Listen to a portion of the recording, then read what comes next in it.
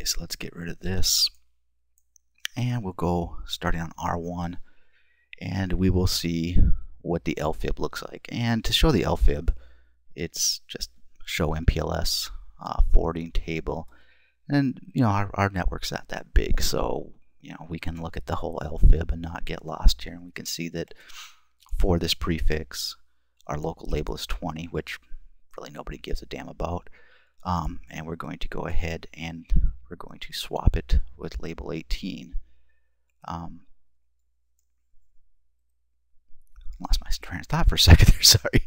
Uh, what I was going to say is that in in um, you know a production network or you know even a larger network than this, once you get up in you know 20 to you know 300,000 routes, you're probably going to want to specify what route you're looking for when you're doing a LFIB lookup, and you could do that by just doing your show MPLS forwarding table, and then you're going to specify the uh, destination prefix. In this case, it's going to be the quad fours. And again, question mark comes in real handy here. It has that odd, you know, space and then put in the bit mask. And it's 32.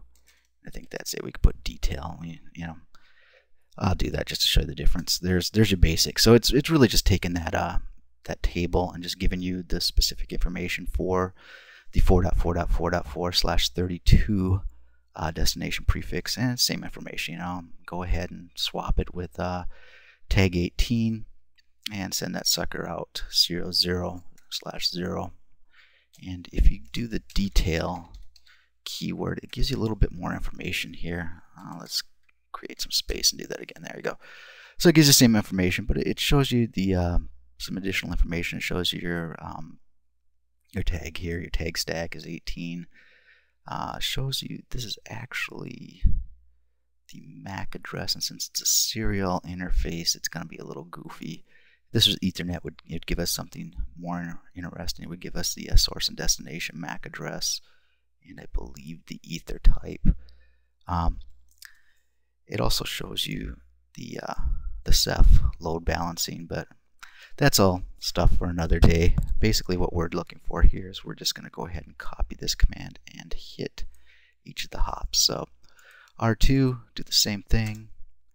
Uh, it's going to come in because we've advertised our local tag is 18 to R1. So if we get something coming in on 18, we're going to swap it, which seems unnecessary, but um, swap it for 18 here's where the fun comes in. So now, remember when we looked at this on, on a notepad, we said that the outgoing uh, label shouldn't be a label at all. It should be popped. So let's go ahead and see if that is the case here.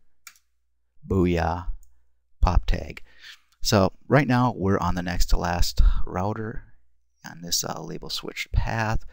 And if we remember our $15 word for that is pentultimate. So we're on the pentultimate hop router and we're doing a little popping. So PHP, pentultimate hop popping, straight up in effect here. Okay, now let's pop over to R4 here. And what we expect to find is that, remember our uh, lookup, that uh, we're not going to find this in the uh, LFIB. So if we do a show MPLS forwarding table for that for that specific prefix, uh, we shouldn't find anything and we don't. Now we can find this in the routing table, obviously. And as I think we saw earlier, it's directly connected on loopback 0. And um, since this is uh, MPLS, we do have CEF running, so we can actually do show IP CEF 4.4.4.4.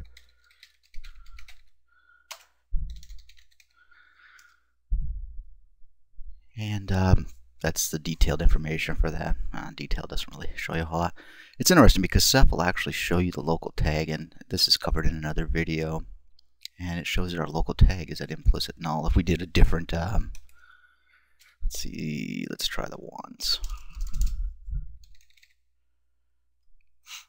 Which is kind of interesting because it'll show you the uh, tags imposed. gives you a lot more information here. But you can see the CEF table has a local tag and the tag that you're going to pop on there. So if we did a uh, show IP, oh sorry, show MPLS forward 1.101. I don't think we need to get more detail than that. You can see that what's going on is it's got a local tag of 20.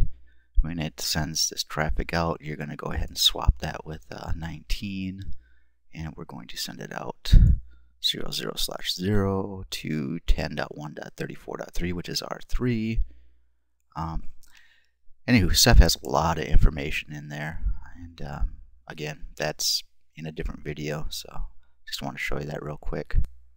Okay, but that's basically PHP in operation, and uh, as I stated earlier, that is the default uh, method of operation for Cisco IOS.